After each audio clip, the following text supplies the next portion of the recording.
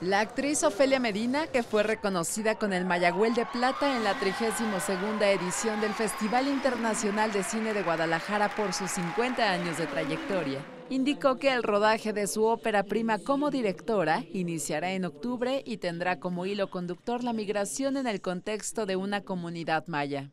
Pues sí, yo soy yucateca y he vivido con mucho interés, he estudiado el fenómeno sociocultural de los mayas de hoy día, los mayas contemporáneos, que son mi fascinación.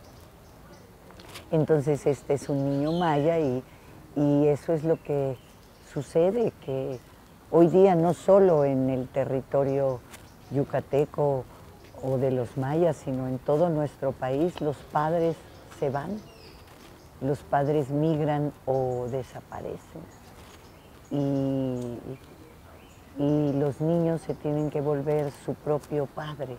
En cinco décadas, la también cantante ha encontrado en la constancia y la gratitud las claves para mantenerse vigente. Conozco algunas amigas que dicen que, que ya se quisieran retirar de la actuación. Yo, yo no. Yo, yo así nada cansada estoy de la actuación.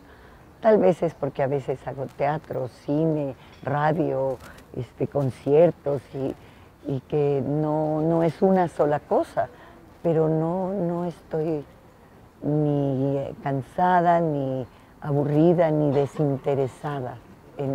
lo bueno es que hay papeles y hay cosas para dirigir, este, para Écuba, ¿verdad? Que era la más vieja de todas, que tiene 100 años. Entonces, pues hasta donde tenga fuerza y creo que estaré haciendo de la más viejita. Con información de Maricruz González e imágenes de Ana Karen Alvarado, enviadas. Notimex.